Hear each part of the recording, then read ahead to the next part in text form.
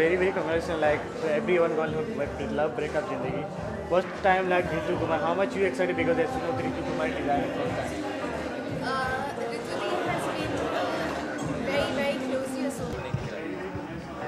Everyone going who love breakup Zindagi.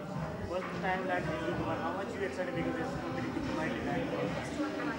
Uh, Rituli has been uh, very, very closely associated with me for the last 11 years. Uh, she was responsible for putting my clothes together for my international pageant. And uh, ever since I've worn her clothes, right from my Femina Miss India days, I've always envisioned myself wearing my, these garments either in my, at my own wedding or use them in a wedding in a film. And with Love Breakup Zindagi, uh, there was a perfect opportunity at hand where we wanted a wedding in a film to look like an authentic wedding where people, all women uh, who are a part of the wedding, are wearing garments that reflect heritage, culture, are aesthetic and beautiful.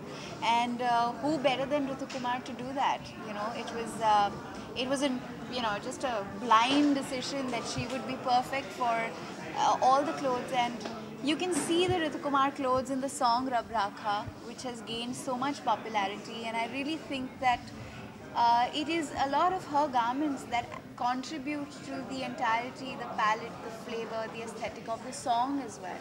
And of course, there's Oritra, who's playing the bride in the film, who's worn all of Ritu's clothes, and there's Nandini Sen, who's worn all of Ritu Kumar and Soni Razdan, we all know her and we love her and admire her and she, the, the ladies, and, and that's what's beautiful about Ritu Kumar, that she, um, her clothes cover every age group. It's not about uh, a, a garment that suits a young woman. It's a garment that suits every age group and makes every woman at every age look elegant and dignified and beautiful. So what's that vision of the first production house, first film acting, like what's that show that you because you know last 11 years that's why it was what's that Uh, Like I said, the decision was very, very clear. We just had to go with Ritu Kumar because she's perfect. I don't think uh, uh, very many designers in this country do clothes like she does. And uh, I think this is what we were looking for the aesthetic. It was a perfect fit. I think it just made all the difference, uh, you know, in the visual of a film. When you have a wedding and you don't have garishly, you know, uh, uh, designed clothes, you have clothes which are so uh, beautifully put together.